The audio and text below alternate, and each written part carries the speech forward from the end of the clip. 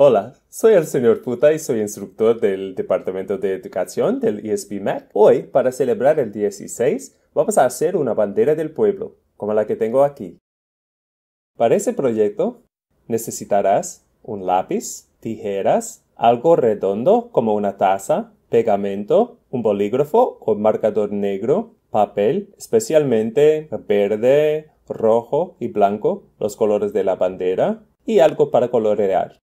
Entonces, ¿qué hace una bandera del pueblo? Es una bandera que representa al pueblo y los ideales del movimiento independentista. Un ideal es un principio o cualidad que a tu forma de ver es la mejor manera de ser, algo que creas que tú y los demás deberían lograr. Bueno, vamos a aprender un poco más sobre la historia que condujo a la independencia. Las Américas son el hogar de cientos de diferentes naciones indígenas, pero hace más de 500 años, España comenzó a enviar conquistadores a sus tierras. Los españoles hicieron tratados con algunas de esas naciones para ayudarlos a derrotar a sus enemigos, a condición de que España pudiera tomar las tierras, los recursos y el trabajo del pueblo derrotado. Pero España no se detuvo ahí y pronto invadió cada vez más naciones, obligaron a los indígenas a trabajar para ellos y luego esclavizaron a gente de África. Pronto los reyes españoles se declararon gobernantes de la mayor parte de las Américas, nombrando a la parte central Nueva España. Con el paso del tiempo, Nueva España desarrolló un sistema de castas. Las oportunidades y la libertad de las personas incrementaban o se reducían de acuerdo al grupo racial al cual pertenecían. El sistema puso los afrodescendientes en la parte inferior, los indígenas justo sobre ellos, les seguían los mestizos, luego los europeos nacidos en las Américas y sobre todos ellos estaban los europeos nacidos en España.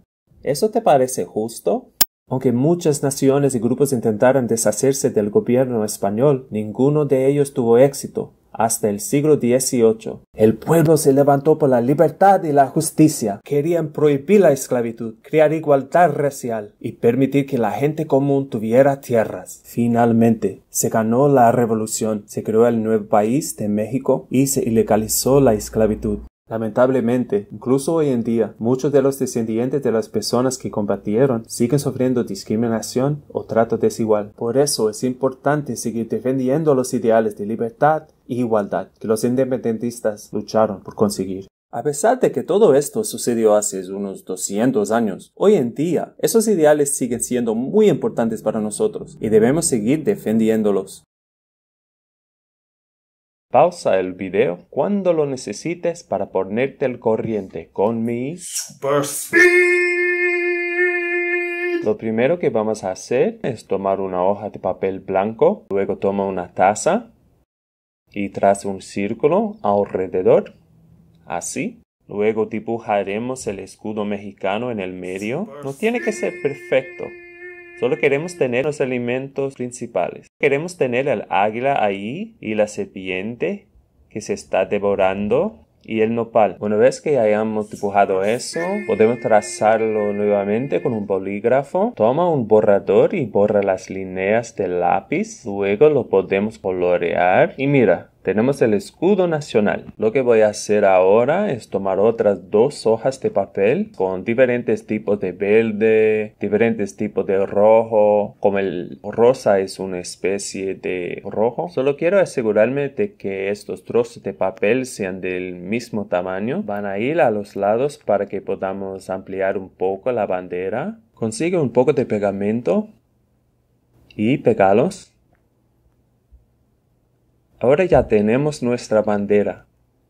Pero tenemos que convertirla en una bandera del pueblo. Lo que voy a hacer es tomar otro papel, esta vez de verde. Voy a doblarlo por la mitad. Después de eso, lo doblaré por la mitad de nuevo.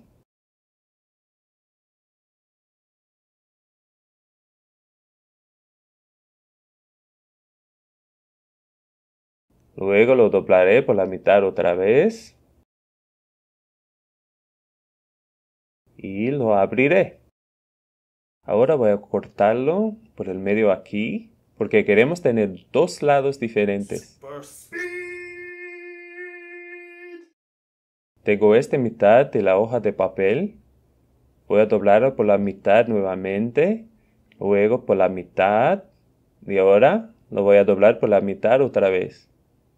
No lo hice antes porque era mucho papel y eso puede hacer que sea muy difícil doblarlo. Ok, genial. Tenemos a este chiquitito aquí. Toma un lápiz y dibuja pequeños círculos en las esquinas. Estas serán las manos y no podemos cortarlas. Por eso es que hacemos esos pequeños círculos.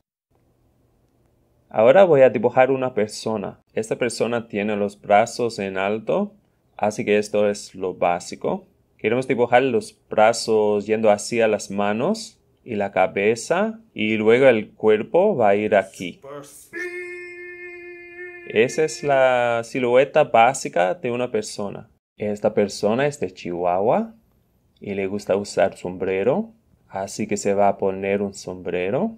Dibujé mi persona, así que ahora la voy a recortar, así que recuerda, no quiero cortar esta parte aquí, no puedo cortar este lado y no puedo cortar este lado. Quiero asegurarme de dejar esas partes sin cortar.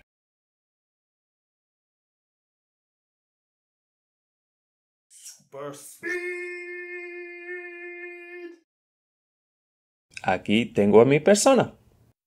Y si la abro, tengo dos personas. ¿Cuánto es dos por dos? Cuatro personas. ¿Cuánto es 4 por 2? ¡Ocho personas! Y hemos creado ocho personas. Vamos a hacer lo mismo con la otra hoja. Doblarla por la mitad. Nuevamente por la mitad. Por la mitad una vez más. Ok, sigue el mismo proceso. Asegúrate de dejarle un lugar para las manos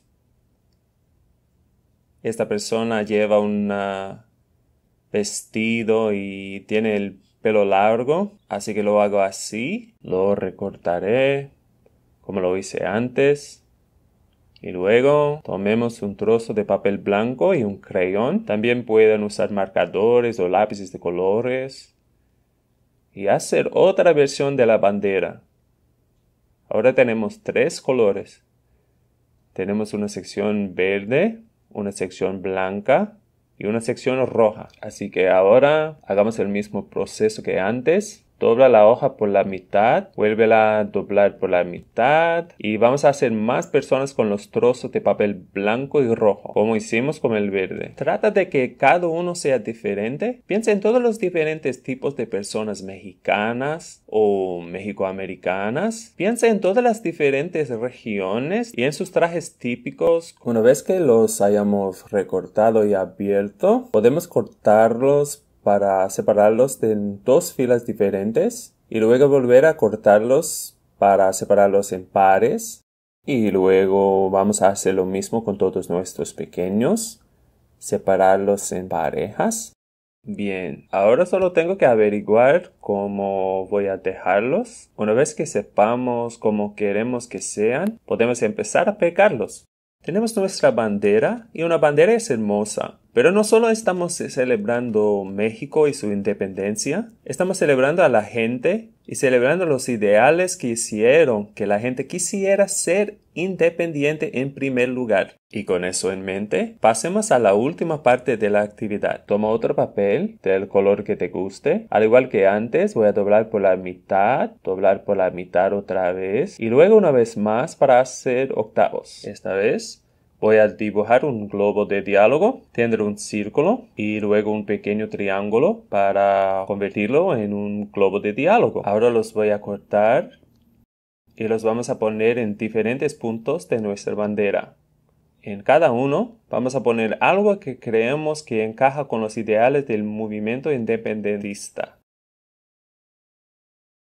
Y aquí está mi bandera terminada. Tiene algunos ejemplos de los ideales del movimiento independentista y algunas cosas que son ejemplos de trabajar por esos ideales, como oponerse al racismo y por los derechos de la gente indígena.